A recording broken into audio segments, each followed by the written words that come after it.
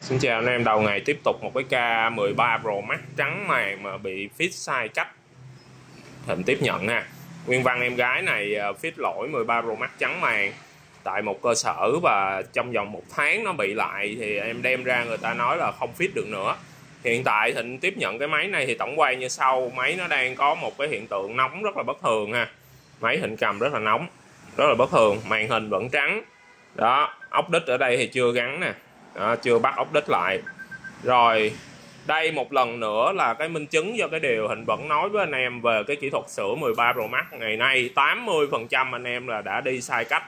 Anh em chỉ làm những cái thông tin anh em xem được ở trên không gian ờ, mạng thôi.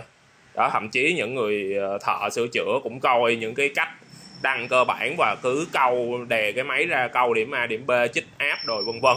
Đó và đều đi sai cách đi sai cách nó sẽ dẫn đến cái tình huống là một là chúng ta fit không được, hai là chúng ta fit xong nó bị lại trong thời gian rất nhanh.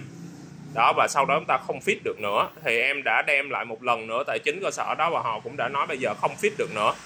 Đó. Trước giờ những cái máy mình làm từ đầu, mình thống kê với anh em luôn, tỷ lệ là 80 phần trăm. Những số ca mình nhận là đều là ca nhẹ hết, một cái máy zin mình làm từ đầu như em gái này mua mới từ đầu. Và giải quyết trong mức độ mấy trăm ngàn thôi đó là nó bền bỉ và nó ổn định rất ổn định luôn. Máy thịnh đã kiểm chứng từ những người khách quen vì số lượng mình làm rất là lớn nên là máy mà nó có trục chặt gì mình thống kê được liền. Đó, người ta xài một năm một năm mấy thấy vẫn xài. Đó thấy không một vấn đề gì khi mà hình đã làm theo cái chuẩn của mình. Đó.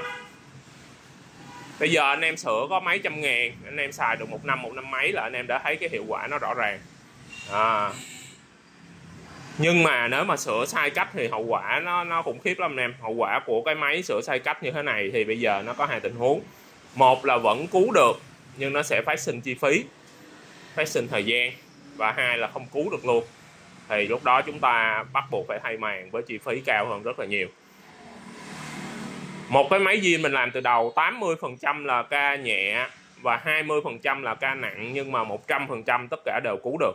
Đó, anh em hiểu cái tỷ lệ này giúp mình à, còn đi đến cái khả năng mà không cứu được là có yếu tố can thiệp của sửa chữa sai cách dẫn đến mặt bị ờ, ăn sâu mặt bị đứt sâu đó thì có thể là bỏ tay anh em ạ à. Rồi ok anh em nào cần tư vấn về sửa lỗi này anh em cứ liên hệ trực tiếp mình vẫn giải quyết cho anh em hàng ngày trên tinh thần chuyên sâu và đam mê ha. cái gì phải làm phải bền phải hiệu quả thì mình mới làm và mình chắc chắn sẽ làm cho bằng được cái cái giải pháp mà mình theo đuổi từ trước đến giờ. Rồi, cảm ơn anh em. Hẹn gặp lại anh em video clip.